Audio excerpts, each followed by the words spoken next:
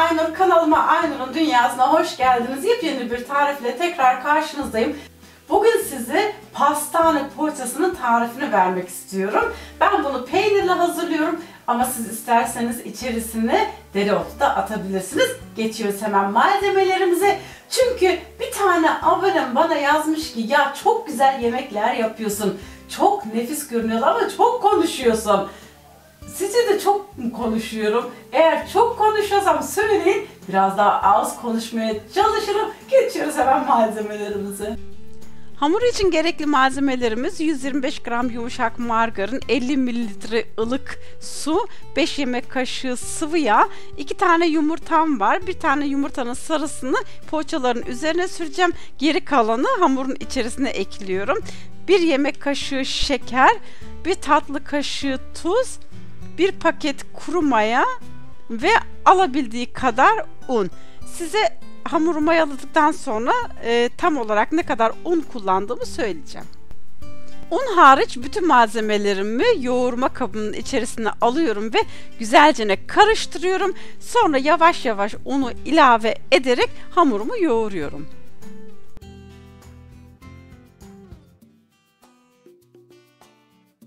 Tam olarak 300 gram un kullandım. Şimdi hamurumu sıcak bir ortamda mayalanmaya bırakıyorum. Şimdi hamurumdan küçük bezeler hazırlıyorum. İç malzemesi olarak beyaz peynir kullanıyorum. Aslında beyaz peynirin içerisinde biraz maydanoz olursa benim daha çok hoşuma gidiyor. Ama bugün orijinal pastane poğaçası hazırlayacağımız için maydanoz koymadım. Bezelerimi elimle e, küçük açıyorum ve ortasına peyniri koyduktan sonra kenarlarını kapatıp kapattığım kısmı alta gelecek şekilde tepsinin üzerine koyup biraz üzerine bastırıyorum.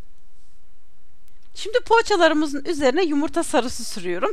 Poğaçalarımızın güzel kızarması için de yumurta sarısının içerisine biraz şeker attım. Sonra çatalla üzerinden çizikler yapıyorum. Poğaçalarımızı bu şekilde tepsinin üzerinde tekrar 15 dakika mayalandırdıktan sonra 180 derece fırında üzerleri güzelce kızarana kadar pişiriyorum. Poğaçalarımız fırından çıktı. Birkaç tanesini de yuvarlak hazırlamıştım.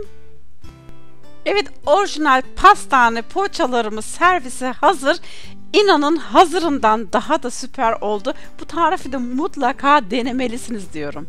Umuyorum bu tarifim de hoşunuza gitmiştir. Mutlaka deneyin. Beni desteklemeyi ve de videolarımı paylaşmayı unutmuyorsunuzdur sanırım. Şayet kanalıma abone değilseniz ve şimdi abone olursanız çok sevinirim. Bir dahaki videoda görüşmek üzere. Hoşçakalın diyorum. Daha fazla tarif arayışındaysanız size mutlaka bir güveç yapmanızı tavsiye ederim ve köfte tarifimi de mutlaka incelemeden geçmeyin diyorum ve şimdi buradan kanalıma abone olabilirsiniz.